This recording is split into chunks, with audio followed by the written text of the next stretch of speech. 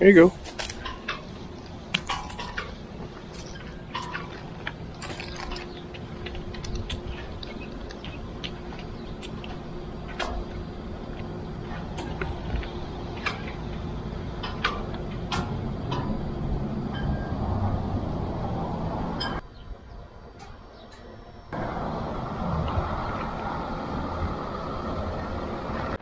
So the road off the highway Rhyolite is paved, and it's only one and a half miles off the main road. So there it is over in the hills, in the foothills. Super cool. I'm excited. We're gonna get some good, good photos. All right, let's go for a tour. Welcome to Rhyolite. So in Rhyolite, there's all kinds of cool things. Here's an old railroad car, a Union Pacific. Looks like a caboose.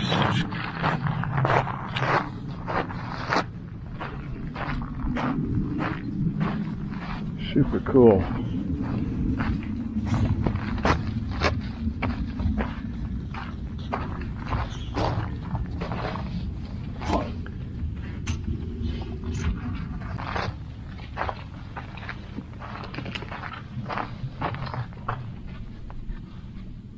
Amazing how these things held up, being that they're wood, you know, right along the tracks.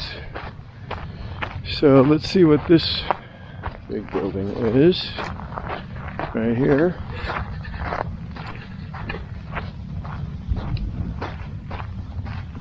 It's the train depot.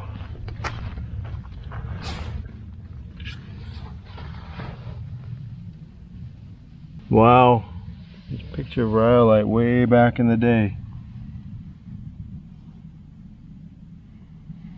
A lot of buildings. That's 1907. Wow.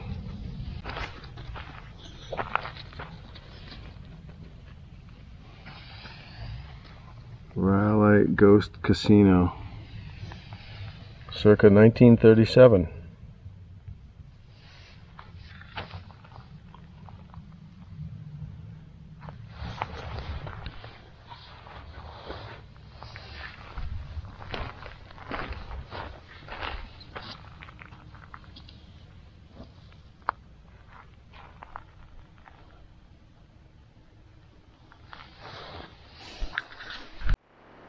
This is uh, weird.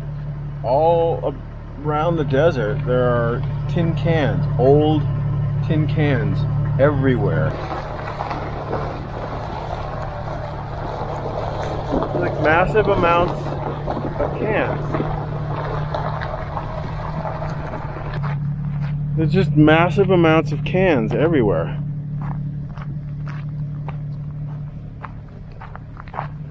Like the dumping ground or something. Just tons and tons and tons of tin cans. I, don't even know what, what might have been in here. But they're all about the same. Some are opened, some are just punctured. See, this one was opened, the can opener. And this one was just punctured. Oh, I wish I knew what was in there. It's fascinating. Look at the desert, it's just littered with cans. Super weird, man. There's no way to figure Oh, here's a square tin. I don't know what that was.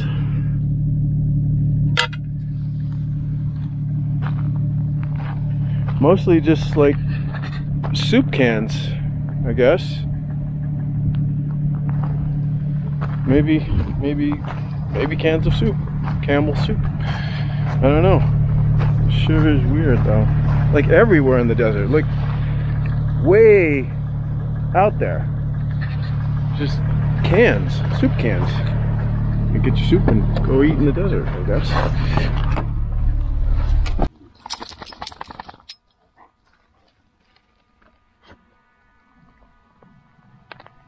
Founded in 1904 and dead by 1916, Rhyolite was one of several short-lived boom towns from the late gold rush era.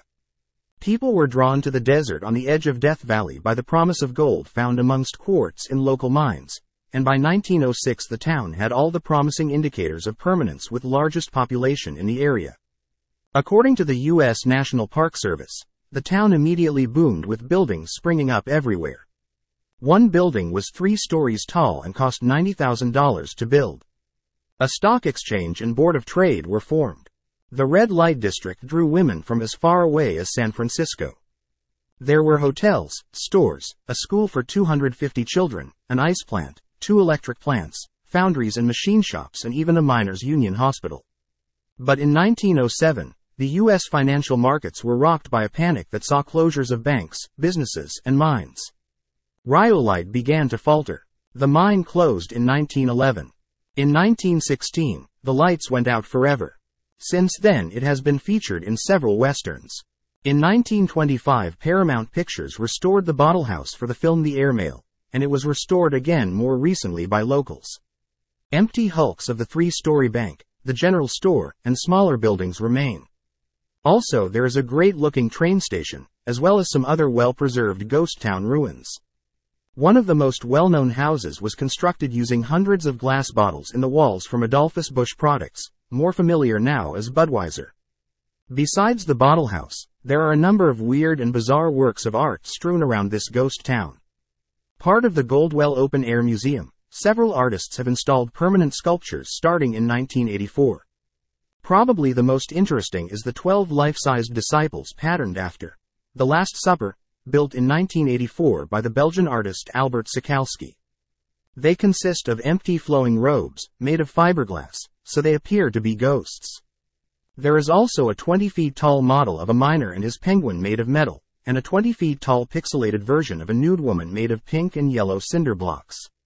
Another fiberglass ghost, the Ghost Rider, stands next to his bicycle, ready to go for a ride. Rhyolite is not too far from Beatty, NV, and if you're in the area, definitely worth a visit.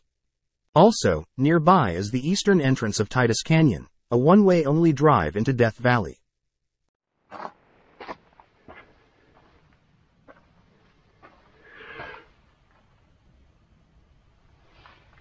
I've never really been into a mine.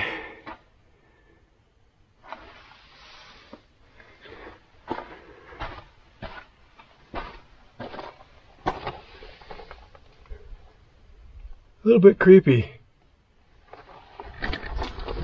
So, yeah, a little claustrophobic. There's the town of Rhyolite from the mine. You really got to drive around because there's so many little things strewn about the desert. Here's a, I guess, a mine shaft. It looks like.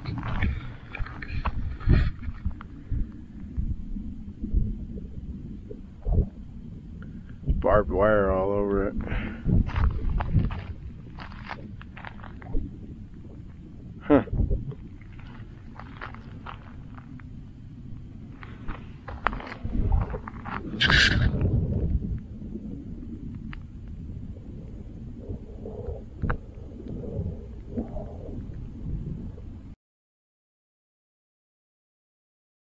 Long ago, a man named Tom Kelly arrived in Rhyolite in search of his fortune. With dreams of striking gold, he joined the throngs of hopeful prospectors who flocked to the area. However, luck was not on his side, and after months of fruitless searching, Tom found himself without money or prospects. Undeterred by his misfortune, Tom decided to make the best of the resources he had.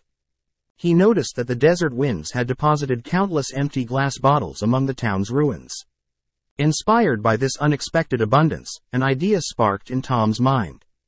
He began collecting the discarded bottles, envisioning a unique creation that would bring life back to Rhyolite. Day after day, under the scorching sun, Tom toiled away, meticulously constructing his masterpiece. With unwavering determination, he carefully arranged the bottles, using mortar to hold them together. He adorned the walls with colorful glass, arranging the bottles in intricate patterns that shimmered in the sunlight. As word spread about Tom's project, people from neighboring towns flocked to witness the wonders he was creating.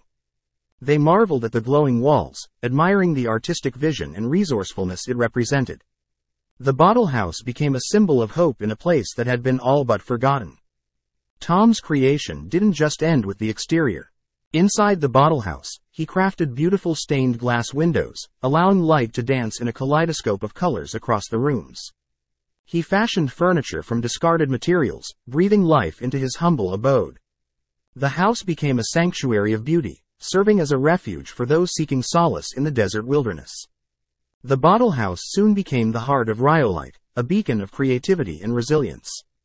Locals and tourists alike gathered to celebrate the artistic marvel, and the town experienced a small resurgence of interest. Artists, writers, and dreamers began to settle in Rhyolite, drawn by the allure of the bottle house and the untamed spirit it embodied. Years passed, and Tom's creation continued to stand tall, defying the harsh elements that battered the desert.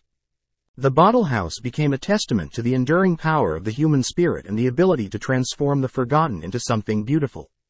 Today, as visitors explore the ghost town of Rhyolite, they are drawn to the bottle house like moths to a flame.